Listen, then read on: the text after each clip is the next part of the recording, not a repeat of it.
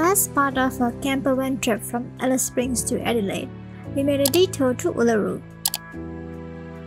We stayed two nights here, and what better way to experience this majestic sandstone monolith than by doing the base walk, which is going to be a 10k walk around the Uluru Rock. We are starting early. Hopefully, it's not too hot already. As you can see, it's really bright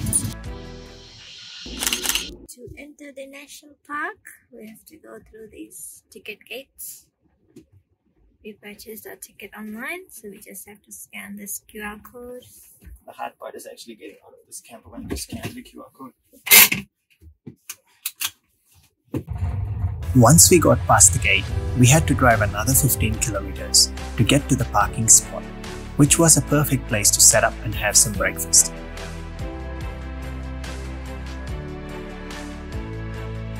Let's have some breakfast.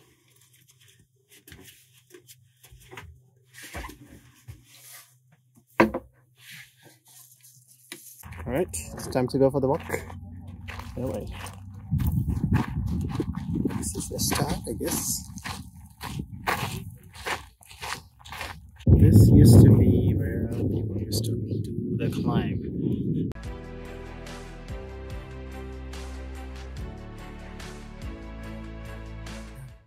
I'm gonna do the whole base walk then back to here so that should take us three hours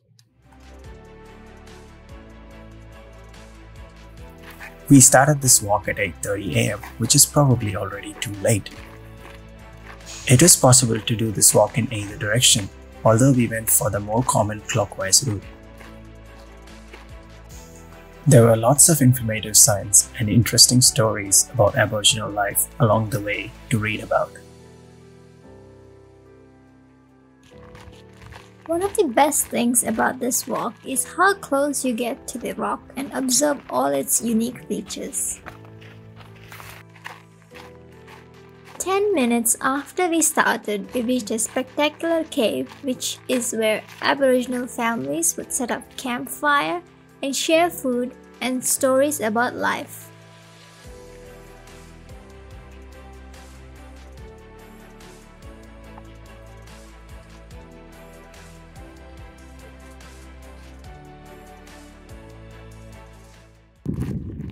We're back on the road somehow.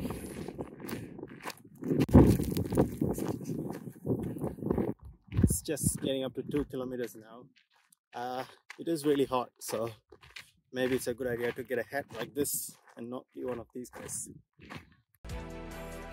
Yes, despite the flat nature of the walk, it is quite strenuous due to the heat, so make sure to carry lots of water and pack a hat.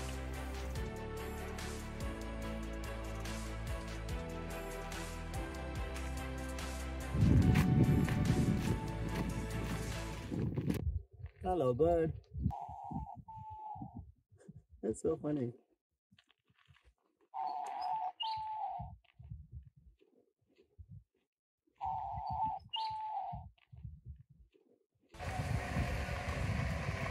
Considering how flat this walk is, it is possible to do it as part of a Segway tour, if that is more of your interest. Nice little shelter. There were a few of these shelters along the walk, and thank goodness for them. Taking regular breaks along the walk was a great way to refresh ourselves and also admire the rock from a different angle. It's coming up to 5 kilometers, almost halfway.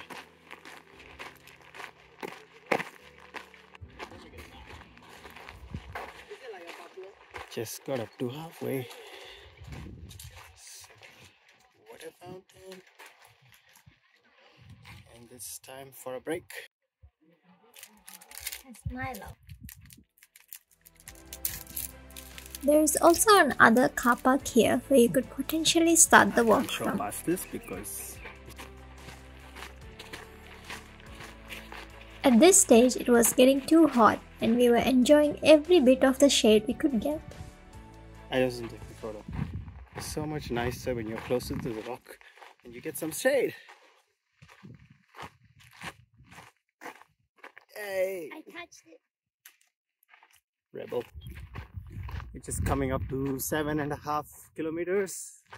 So not much long to go, but it's really getting hot. You don't want to be starting this at 11 a.m.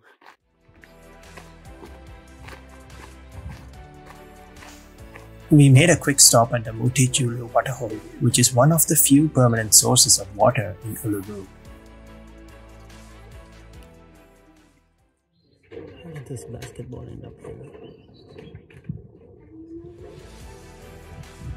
And a short while later, some more walking and we are almost at the end. So we're almost come to the end of this base walk. Bring a fly net as well, by the way. Um, yeah, so how, how did you find it? It was good. It was mostly flat, but the heat makes it a bit challenging. But I like that, it's a nice walk. Yeah, lots of history along the way, lots of nice stories to read about. So make sure you check it out. We're back where we started. Two hours and 15 minutes. And our camper van is still here. Yay!